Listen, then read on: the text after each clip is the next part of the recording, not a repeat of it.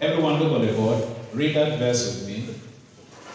John 6, verse 12 to 13. Read aloud. One, two, go. When they had all had enough to eat, He said to his disciples, Gather the pieces that are left over, let nothing be wasted. So they gathered them and filled twelve baskets with the pieces of the five barley loaves left over by those who had eaten. NIV. Say, let nothing be wasted. nothing be wasted. Say it again. Say, I refuse to be a waster of resources. Let's look at it practically.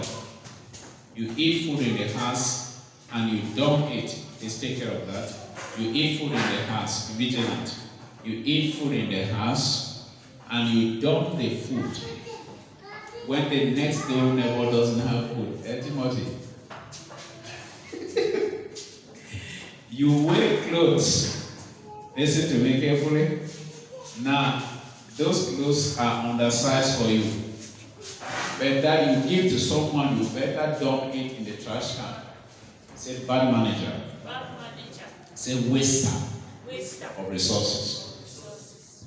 You leave bread in the house and it ferments. I always use this local practical examples in the house. And the next door neighbor is needing food. You are abusing God's resource because you own nothing. God created all things. He gave you management responsibility over the things He created. Whatever you abuse, you motivate God to take it away from you. Let me take that statement over. Say, whatever I abuse, Whatever I have, I actually motivate God actually to take it away from me. Now, you feel guilty when you say that. I'm happy. Praise God. Now, he instructed them. This is a story of 5,000 men being fed. How many disciples were there? How many disciples did Jesus have? twelve. Good. How many loaves of bread were there? Five loaves, according to that John 6. How many fishes? Two. Now, say little. Little. If you are not faithful with this little thing, Luke 16, verse 10, who can give you much? Jesus took seed and multiplied the seed, and it fed 5,000 men. Guess what? All the people fed were, in my conclusion, studying this, were careless, irresponsible managers. Guess what?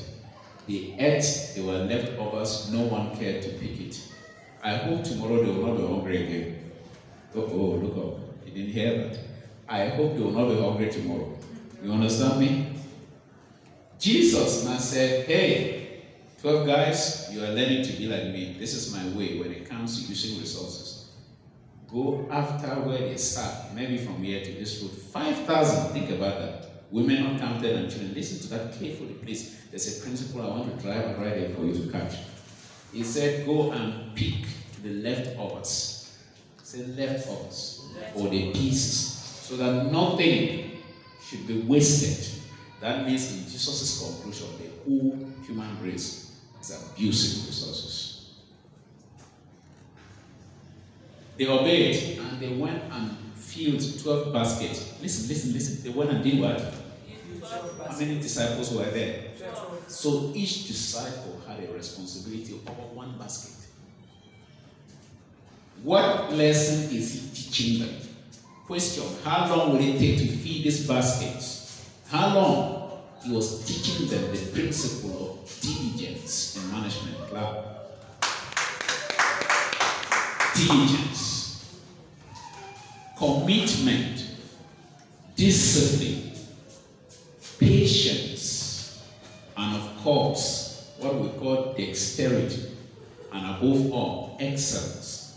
Get it done and get it done thoroughly. That means they went, you remember, pick and go, pick and go. Uh-huh. Pick and throw, pick and throw. Primary school, we used to sing that. Marinette is here, you may not know that one. We used to sing that and pick things, including it was too dirty and primitive in those days. We even forget to wash our hands. Sometimes when we pick those uh, leftovers of uh, sugar cane, you know what we do. Don't ask me. Look left and right and take care of it. Praise God. So he said, let nothing be wasted. Did you catch a revelation right there? Jesus. his heart bleeds when people mismanage resources. You mismanage money, you mismanage time, you mismanage anything. And according to God's conclusion in Luke chapter 19, the parable of the talents he gave to them. Anyone who abuses anything entrusted to them is actually a wicked person. You wicked servant.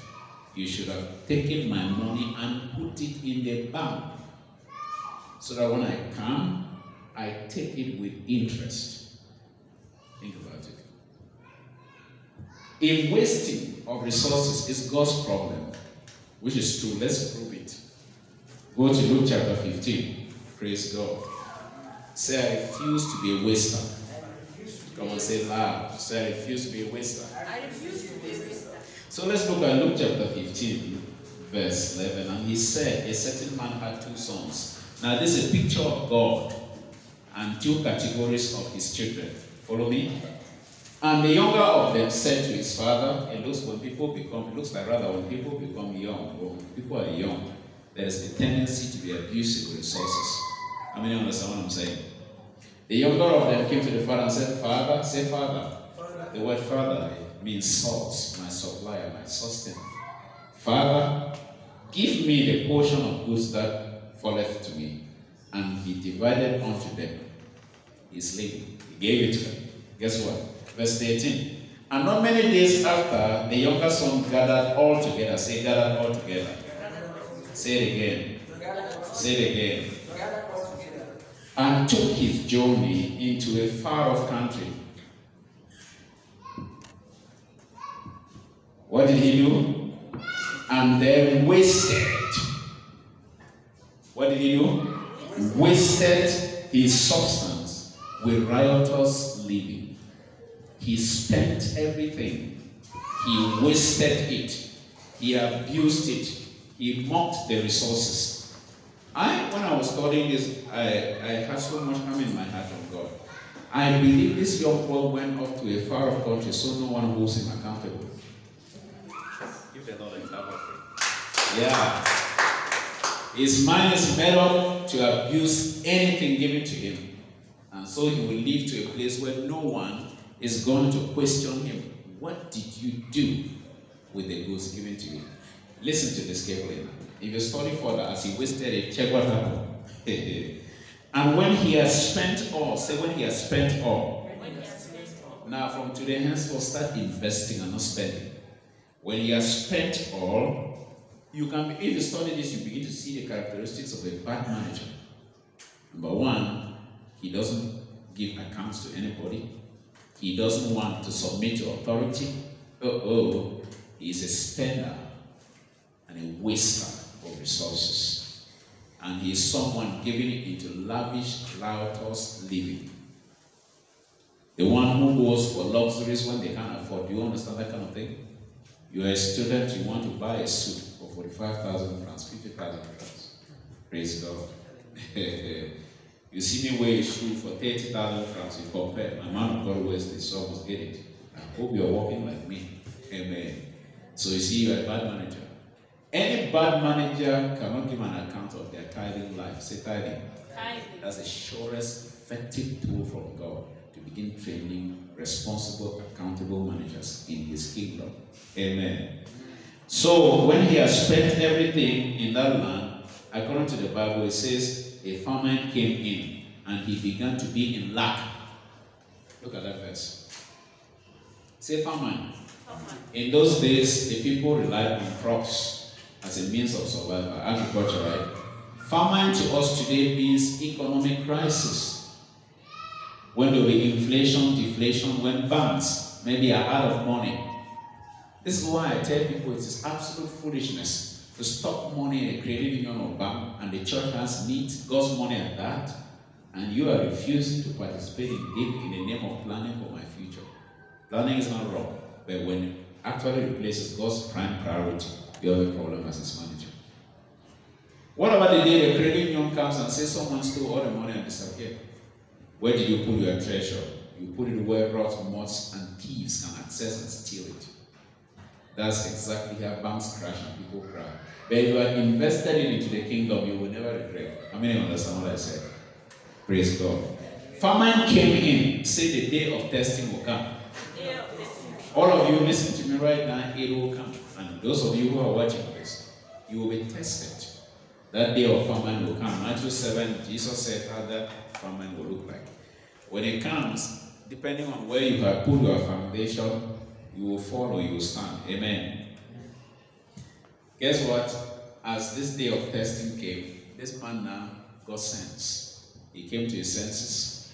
Before that, he even went to hustle for a job. Amen. Imagine there's a famine in the same country, another person is employed, and another person is looking for a job. Think about it for a moment. One man is employing, another man is looking for a job. That means any faithful steward of any resource entrusted by God, all resources on earth belong to God. Anyone not even born again who can manage it responsibly will always be rewarded with more. Did you hear that? Did you hear that? So it is possible for you to be recruiting people while others in a crisis are desperately looking for what to eat.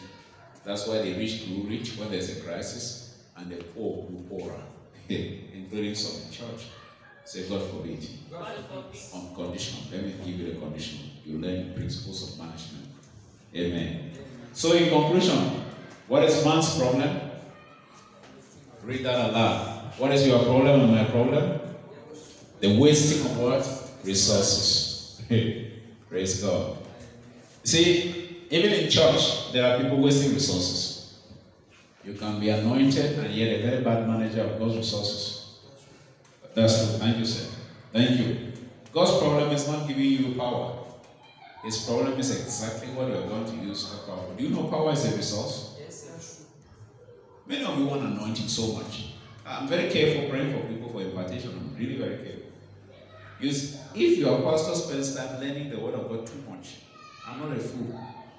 I know what I'm doing. The more of the word you know, the less of issues you have to deal with devils. I mean it. Satan out in the name of Jesus of his life. Whether he agitated and fell down or not, I don't care. By the authority and revelation from the word is gone. Praise God. Management is more important to God than the anointing that many of you are seeking today. Say seeking for anointing. Seeking for The grace of my papa, my mama, my this. Amen. We have a problem. Go and manage yourself. You want to seek for anointing and you stay for two days without taking a bath. You keep things in your house disorganized for weeks. You cook food, you don't wash your pot in time. Amen. Even to copy notes in church, you cannot copy notes. When you leave that service, that message ended that service. You don't take responsibility, you're not accountable to nobody, you want power. God will disappoint you next tomorrow in Jesus' name. I will say amen to that one. God will disappoint you tomorrow in Jesus' name. No power for you until you have learned how to be an effective manager. God has no problem giving me power to raise dead people. He knows I'm careful. He has no problem giving me power to go out there for a crusade, which shall be happening very soon, and bringing people in. He knows I've grounded myself through thorough management of the time I've been given, resources I've been given, availability of everything to take care of these people. After they are healed, he knows I can teach them the word. So don't be jealous of me when I grew more. Praise God. And I can only grow more. Amen. Now, hear this statement. If you cannot add value to anything that is given to you, listen now carefully. It means you're a bad manager. It's a value addition is an essential aspect of good stewardship. Say it again. Say value addition is an essential aspect of good stewardship. Let me prove to you. How will the administration of this place feel like if they come here, we have broken all their chairs?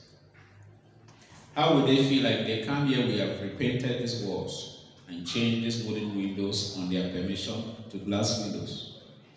How would they feel like when they now come to this campus, they notice, ah, ah, there is security bulb installation with bulbs everywhere, privacy, uh, uh, that security has been enhanced because we paid the price to bring in power supply. That's good management. How would they feel like when they come, the doors are not locked, instead, other security locks are brought in? Good management. I'm speaking to all of you here who are renting. Be careful how you use someone else's property. Be very careful. It's a test for you.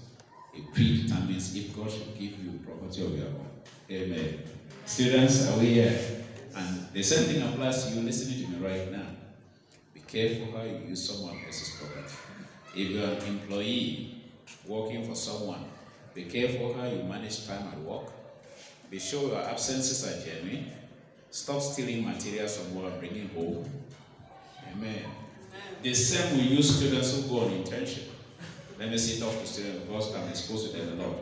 You have no problem with taking gloves and bringing home, very soon when you are recruited, you'll be able to pull down the whole structure. Okay? I rebuke you in Jesus' name. Repent. God never gives a complete thing to any manager. God never gives you anything in its complete form to manage. He showed me how big this ministry will look like. So wonderful. Guess what? I thought it would just be like that. Oh, starting is crazy. It's frightening. And while you prove to be diligent, he increases. Prove to be diligent, he increases. What has happened in this church before one year, which will happen, May 22nd, 2023 makes us one year. Oh, yeah. And you will hear the story, it will be amazing. So many things, uh, most ministries take two or three years before they ever get even an amplifier mixer. They exist like a cell. We are literally like I said, but the teachings in this place are so outstanding that it has global influence. I mean, outstanding. Show me anybody who sits down to listen to what I teach. I show someone whose perspectives about the kingdom of God, the kingdom message of Jesus have completely changed. He taught them an important principle of management. Amen. Please let me say that again. God never gives you anything in its complete form. Say two fishes. Say five loaves of bread. Was that incomplete or not? Yet multiplied. Praise God. Next thing is that effective management is your promotion ticket. Next thing is that when you mismanage, you motivate God to take it away from you. I'm concerned about you who pray so much. Lord, give me one million. Give me this one. Give me that one. Be careful. What did you do with the other one? Can you give us a report? Which among you as a parent, a daughter will just come and say, That's my daughter right there. Tomorrow when she starts playing around, she comes, give me sweet. I give. After two hours, she comes, give me more sweet. I just give. After three hours, she, she may not come and not even ask me. Just take the whole packet, not so. If I can't sit her down and say, wait a minute, you took the other ones, what did you do with it? I'm a bad parent. I must hold her to account because I need her to understand the principles of discipline. That's why certain things God will not give it to you now till you mature. What's the use of a young man 17 years old who is not who doesn't yet know how to drive a car? We buy a new truck and give to what? Therefore, he will give resources to people who have not learned management, they will abuse it, and they will cost the lives of.